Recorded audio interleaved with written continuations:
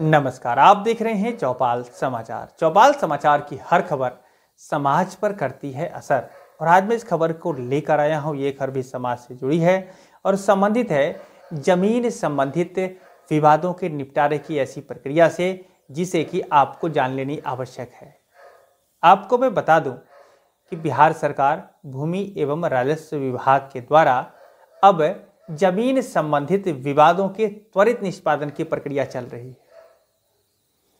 इस प्रक्रिया के माध्यम से आप अगर कोई ज़मीन विवाद से जूझ रहे हैं तो निदान निकाल सकते हैं। अगर आपके कोई अपने भी इन समस्याओं से जूझ रहे हैं तो उन्हें भी आज आप इस वीडियो के माध्यम से सूचित कर सकते हैं कि आपकी समस्या का भी निदान निकल सकता है। हम आपको सीधे सीधे लिए चलते हैं अनुमंडल कार्यालय, मुजफ्फरपुर, पश्चिम, जहाँ पर अनुमंडल अधिकारी ब्रजेश कुमार ने इन सारी प्रक्रियाओं को बड़ी सरलता से आपके लिए बताया है। आप इसे पूरा सुन लीजिए, समझ लीजिए, इस वीडियो को शेयर भी ज़रूर कर दीजिए।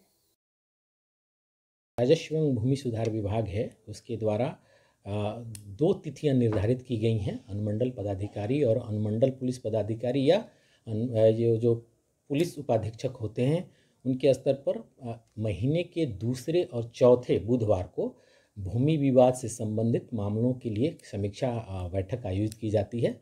इसमें है क्या कि जो शनिवार को जो थाना दिवस होता है, जिसमें संबंधित थाना पदाधिकारी और अंचल अधिकारी के द्वारा भूमि विवाद से संबंधित मामलों का समाधान किया जाता है, वैसे मामले जो संवेदनशील प्रकृति के होते हैं, उनको सीधे फॉरवर्ड कर दिया जाता है अनुमंडल स्तर पर, जहाँ पर अनुमंडल पदाधिकारी और अनुमंडल पुलिस पदाधिकारी के द्वारा समीक्षा की जाती है। उसी क्रम में आज मैं आपको अपने अनुमंडल पश्चिमी का डाटा मैं बताना चाह रहा हूँ कुल एक सौ अड़तालीस मामले अभी तक प्रतिवेदित हुए हैं, जिसमें से 79 का निष्पादन किया जा किया जा चुका है और उनतीस मामले प्रक्रियाधीन हैं।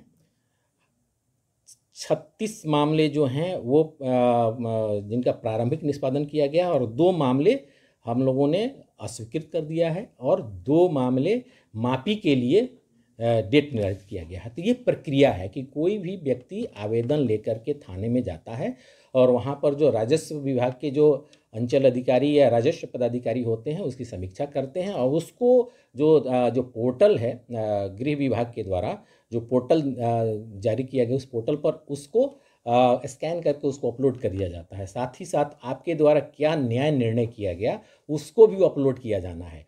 और कुछ जो समय सीमा निर्धारित है, उस समय सीमा के भीतर आपको उसका जो विवादित जो भूमि है, उसके संबंध में आपको निर्णय लेना होता है। उसमें तीन चरण है आपके, जो सामान्य प्रकृति प्रकृति के होते हैं या ऑन स्पॉट उसका समाधान हो जाता है, उसको तत्कालित वहाँ पर समाधान कर दिया जाता है।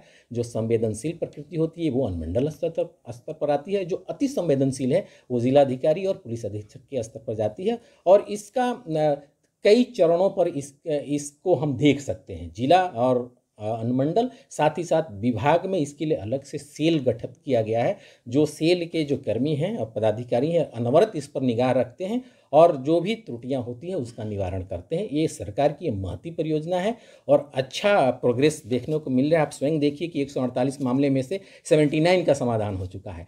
तो सरकार ये जो लोक कल्याणकारी राज्य है और जो भी भूमि विवाद से संबंधित मामले जो आ रहे हैं उसका हम लोग त्वरित निष्पादन कर रहे हैं और इसमें हम सब चाहते हैं कि सबका इसमें सहयोग मिले ताकि भूमि विवाद के समस्याओं को हम लोग निष्पादित कर सकें।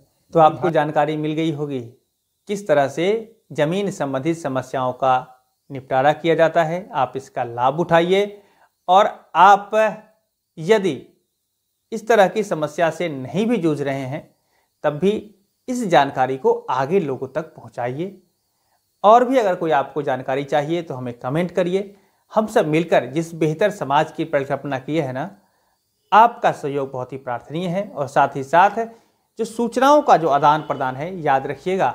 इससे समाज में जागृति आती है और इसी जागृति से ही समाज की बेहतरी निश्चित और निर्धारित होनी है।